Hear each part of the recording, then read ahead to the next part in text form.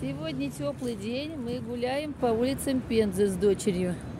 Вот скверик Пушкина, пришли сюда, напротив городской администрации. Ее там не очень видно, администрацию.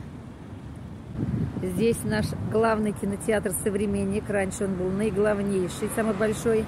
А вот это здание, оно считается не то что заброшенным, это долгострой, который никак никто не хочет отстраивать до конца.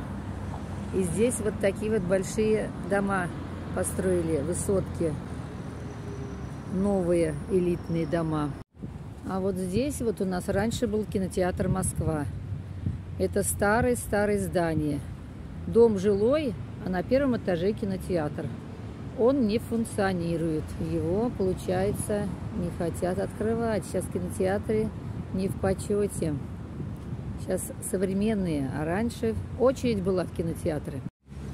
А вот издалека виднеется еще один скверик. Тоже старое здание там виднеется, которые отремонтировали, сделали там как всякие кафе. А, и оно функционирует. Это самые центральные улицы, поэтому тут у нас уже такая территория. Это у нас театр, театр доктора Депертутта театр Мерихольда раньше был. Зрительный зал не очень большой. Улица Володарского. Здание старинное, все из дерева. Все деревянные здания. Вот с такими вот окна, с такими наличниками. Скульптурная композиция русской народной пословицы установлена в ноябре 2010 года компанией «Мегафон». И тут вокруг написано «Старый друг лучше новых двух». Так, тут что? В общем строю в ногу шагают.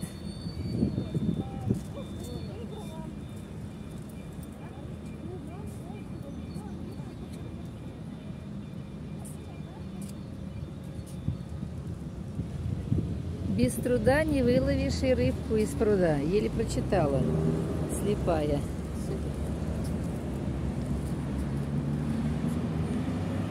Надо сегодня заботиться о том, что будет завтра. Вот отличная пословица. Оказывается, герой скульптурной композиции житель города Пензы Иван Лачинов. Вот он. Вот здесь стоит. Это он, оказывается. Да, смелость города берет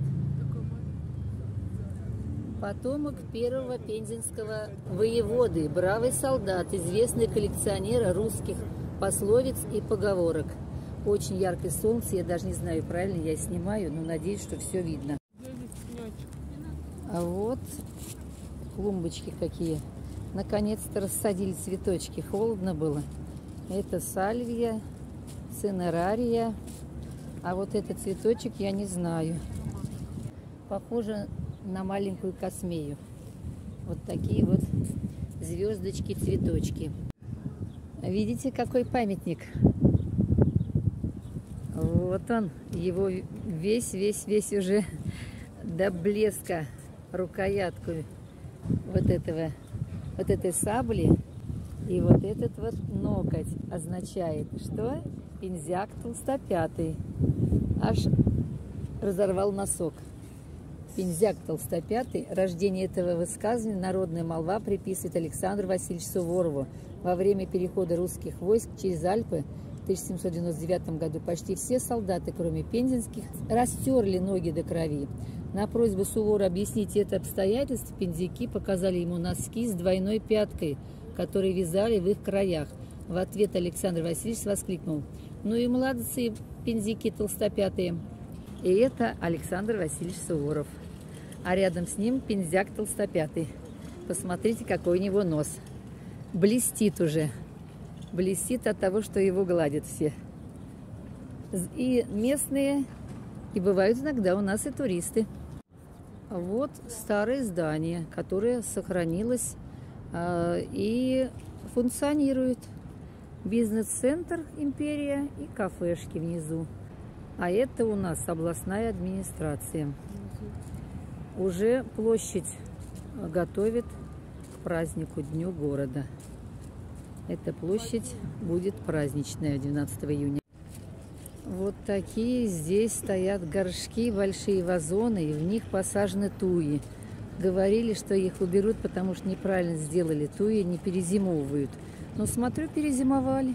А вот там вот э, в серединочке спиреи растут, мне так кажется. Какая-то туя выглядит... Это не туй, наверное, это можжевельник. Нет, это туя. Это туи. Какая-то выглядит не очень. Развалилась. Видите, верхушка развалилась. Это тоже сорт, наверное, такой развалился. А вот какая, смотрите, шикарная. А вот это выглядит отлично. Сорт другой. Поэтому так выглядит. Спирея.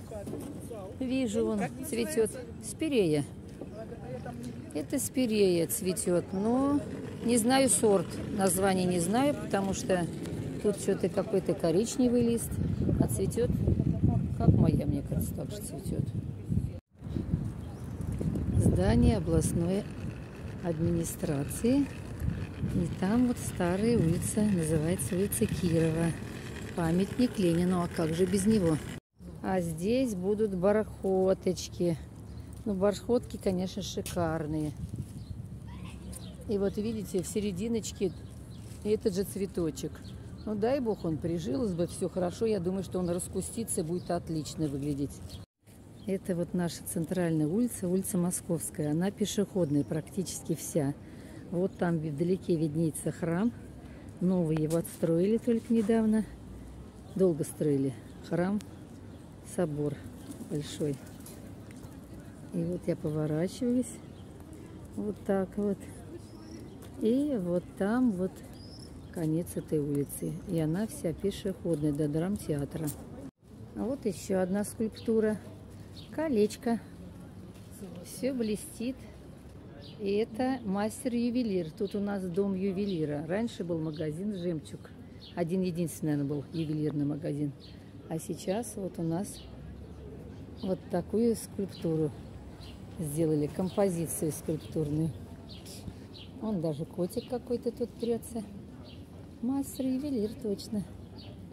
Ломонос Владимиру Евгеньевичу посвящаю. Вот это кто, оказывается? Вот это здание отстроили, точнее даже надстроили. Это был пассаж двухэтажный а сделали четыре этажа. Называется теперь он торговый центр «Пассаж». Вот вдалеке виднеется из кирпича красное здание. Это старинное здание. А, он, оно функционирует. А раньше в нем был рынок центральный.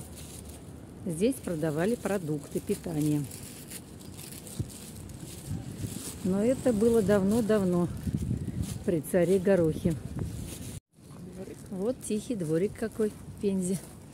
Кто-то сажает цветы тут, я не знаю. Но это, скорее всего, город сажает. Тут не могут сажать жители. Я не думаю, что тут жители сажают цветочки. А вот у нас драмтеатр. Он у нас новый, его отстроили, потому что старый сгорел. Старый был, конечно, не так, может быть, выглядел снаружи но изнутри он был шикарный.